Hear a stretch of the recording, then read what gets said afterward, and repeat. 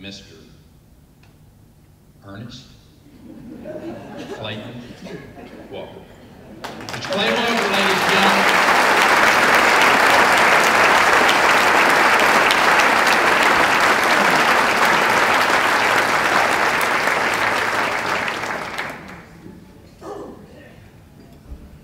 Ernest. That's how he woke me up this morning at 5 a.m. Ernest. I, I've never been called that name by, by anyone. But I just have to say that I know today's National Prayer Day, and I was praying that there are some country music fans in here. Uh,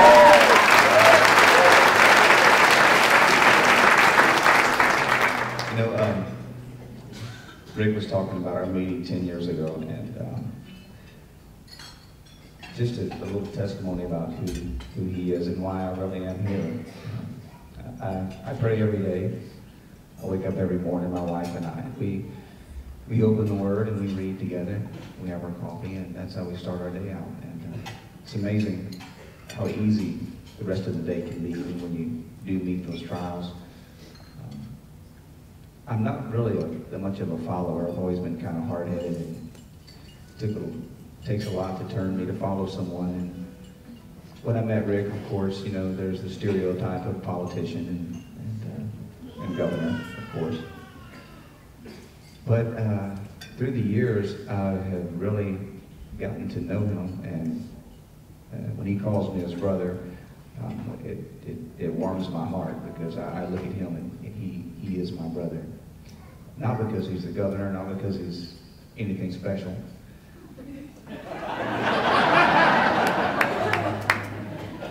But because he, he is one of the most humble human beings that I have ever met, ever.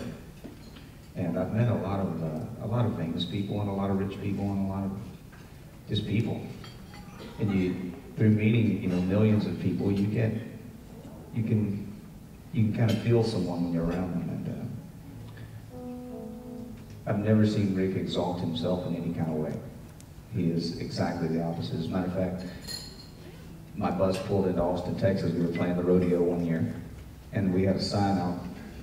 Well, not then, but we've since put a sign up outside the bus door that no shoes on the bus because it scratches up the marble floors. and I was in the shower, and I heard a knock on the door, and my driver, he was so strict about people not wearing their shoes on the bus because he has to make sure the bus stays in great shape.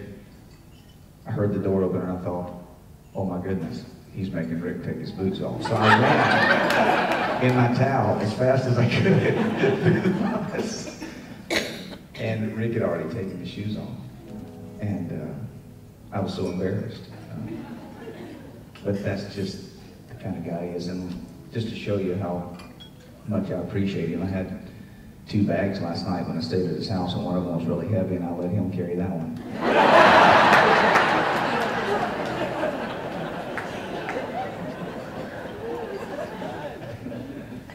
But when you examine, the, you know, I, I think it was, uh, maybe it was Socrates that said, you know, the, the unexamined life is, is worthless. I think Rick has, has examined his life and knows where he wants to be uh, in this in this world, and it's it's not at the head of our state, but it's it's as a Christian leader, and we don't we don't have enough Christians in office. You know, I don't think we'll have enough Christians in office until they're all Christians.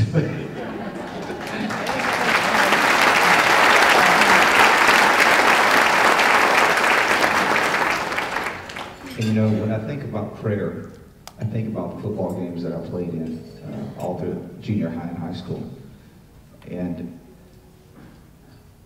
praying for a football game was the most important part to me because I knew that my gift, my talent came from good Lord and that it didn't come from anybody else and that it wasn't of my own doing, that He gives us all something. And we just have to recognize it and find out what it is. And that's what, what I want my, my son, my eight, eight-month-old son to grow up knowing is that there, there is a God. He did give him that gift. And that when he plays football and walks on the field, I want him to pray with his teammates like I did and have that right and that privilege. And we need people like Colt McCoy.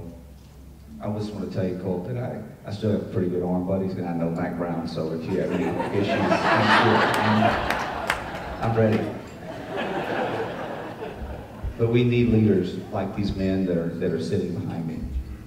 We need, we need people like Rick Perry because that's what made this, this nation great and that's what makes this the greatest state uh, in our union is because we are.